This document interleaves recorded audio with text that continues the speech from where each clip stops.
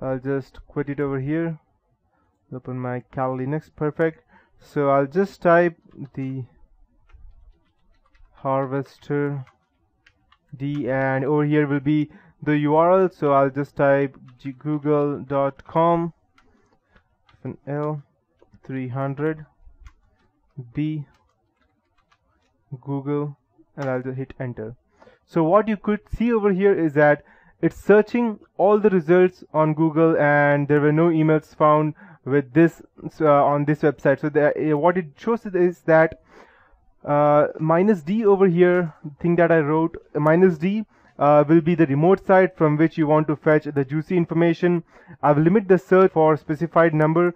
For us it would be 300 and uh, minus L over here will be the limit for the search specified by the number that is this one and minus B will be the search engine that I use so from the above information of email address, you can go and identify the pattern of email addresses assigned to employees of organization. As of Google, it's quite secure, so it won't show you anything. But let me try something else. Let me go ahead and use a different website. I have one more thing in place. So I'll tell, let's say, sixth startech.com and let's check if we get any results. Okay so I'm not getting any result. Uh, maybe even this has uh, got way too secured so uh, but yes this is how it works and you can go ahead and find out any information that you want through this. So from the above information I can go ahead and show you all of these things. The command will grab the information. I'll also show you one more thing. Instead of that I'll just type all the harvester hyphen d6 static lb all perfect so what it will do, it will uh, go ahead and search on all the uh, search engines and it will give me back the result. This command will grab from multiple search engines and as you can see that first it was searching only through Google and now it is searching even through Bing. So to save the result, just go ahead and put a hyphen F parameter as shown in the example. I'll just go ahead and show you. Okay, so there were no email IDs found for over here. I'll just and just in case all and I'll type hyphen f and I'll type pen test. So just in case you go ahead and find any email IDs over there you can just go ahead and type it over here like this. And it will be saved in the pentest directory and hyphen f means that you are asking it to save it in a specific folder. Uh, as you can see uh, it was error creating file because there was no nothing found but let me see if file was created or not. So I just need home view tree. Okay. Perfect. Okay as you can see we have a pentest HTML and yes there is nothing over here as of now because we are not able to find any information.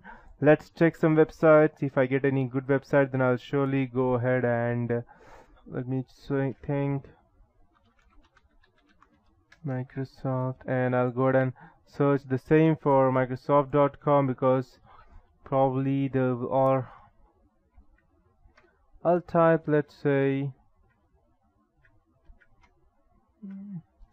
I don't know whether it will work or not just let's check.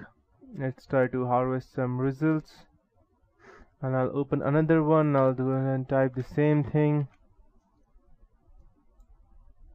so let's go ahead and try our commands once more.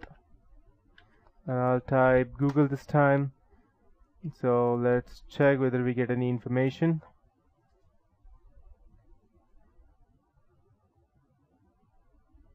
I should probably get perfect. So as you can see that I uh, previously my internet was uh, down so that's the reason I did not get anything. And you can see that I only searched this in Google and I got these many email IDs from that. So it's quite easy for you to understand that what would be the email IDs and uh, what uh, they could give things out. So let's go ahead and check for google.com if you are able to get anything for Google. So if just in case if you get any uh, results from Google uh, that uh, XYZ at the rate uh, blah blah blah and you get that uh, any fake email ID and you want to search whether the email that you received because sometimes some attack what attackers what they do is that they if you have an organization and they, then they go ahead and send the email to an employee of your organization stating that this is from the IT department and we are asking you to go ahead and log in at the following terminal and this is the google.com and this is your Gmail ID so just log in. And so you need to know that whether the email came from the right party from the same google.com or somewhere else so you at that point of time you can go ahead and check the host and the domain over here. And uh, these are the two emails found over here and these were the host IPs for each and everything. And you can go ahead and gather information and it will be much easier for you to identify whether the person who sent you the email is the right uh, party or not. You even have the, have the IP address from where uh, the uh, these emails get sent so you don't need to worry about the IP addresses. Just in case your IP the mail that you received was a fake one you can also go ahead and easily trace it since you will already be, uh, also be having the IP address.